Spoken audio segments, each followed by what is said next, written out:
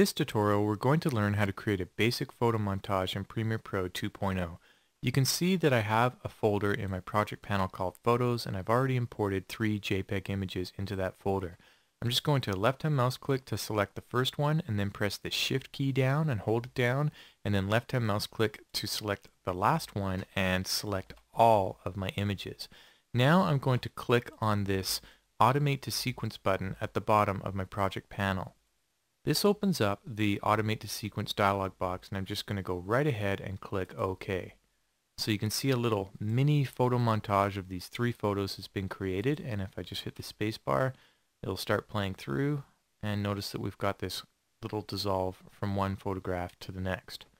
So now that we know how to create a simple photo montage, let's look at setting up some of our options and preferences so that the montage is created exactly as we want it. I've gone ahead and deleted the Photos folder from my project panel and now I'm going to go up and left hand mouse click on Edit and then go right down to Preferences and left hand mouse click on General. This opens up the General Preferences dialog box and there's only a couple of settings here that we really need to concern ourselves with. The first is Still Image Default Duration which I have set to 90 frames. This is how long each photograph will appear in your montage in your timeline. So I've got it set to 90 frames, which is the same for me as 3 seconds because I'm working at 30 frames per second.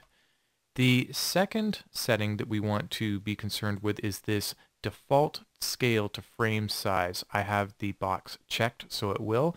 What this means is that Premiere Pro will scale the photograph so that it appears in its entirety. You'll see the whole photograph in your program monitor window. I'm going to hit OK. Those preferences are set.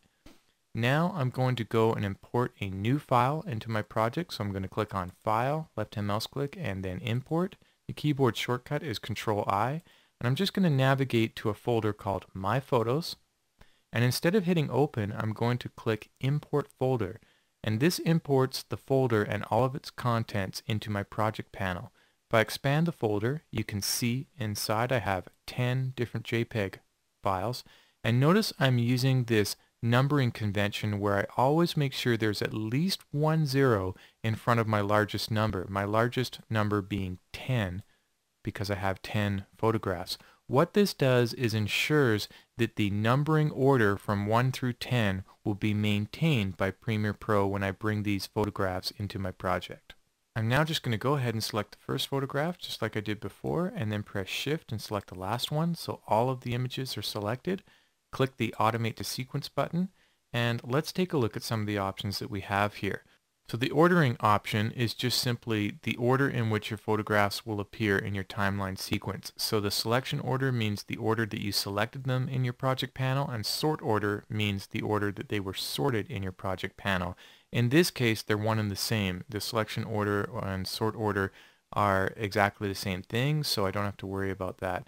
Uh, placement, uh, there's no other option than sequentially right now, so we won't worry about that. Method is just the way that the photo sequence will be placed in your timeline. An overlay edit will overlay over top of any existing material, therefore deleting it. An insert edit will push that material to either side uh, and that way it'll be preserved. Now in this case again it doesn't make any difference because we don't have any pre-existing material in our timeline sequence.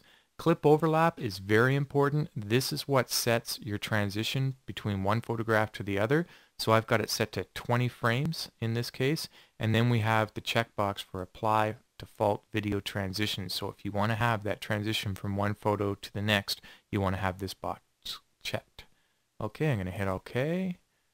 So notice a couple of things. Obviously, we've got a photo montage created now with the 10 images, but also I had my current time indicator deliberately moved away from the beginning of my sequence just to show you that wherever you have your current time indicator placed when you hit that OK button in the Automate to Sequence dialog box, that is the time where your photo montage will start. So in this case, I had my current time indicator at 2 seconds and 6 frames. That's why the montage is starting with a little gap in front. I can just use my track tool key to drag everything back to the beginning if I want. And now just hit play and it'll play through this little montage. So you might be wondering, well, how do you go about setting the default video transition? That's a good question, and it's very easy to do. I've got all of my transitions stored in a folder called favorite transitions, and I can now choose, let's say, dip to black. I'll just right-hand mouse click on it, and then select this option of set selected as default transition. So now the next time I create a uh, photo montage using the automate to sequence button, dip to black will be used instead of cross dissolve. So let's just test that theory. I'll delete this. We'll go to the beginning. Notice that all of my photos are still selected in my project panel. So I'll just hit the automate to sequence button again. Hit OK. And now we should have dips to black instead of dissolves, and indeed we do.